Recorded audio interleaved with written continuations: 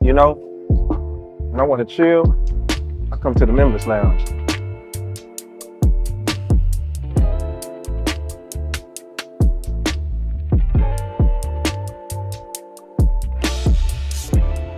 Sometimes I like to just come and chill with my homies.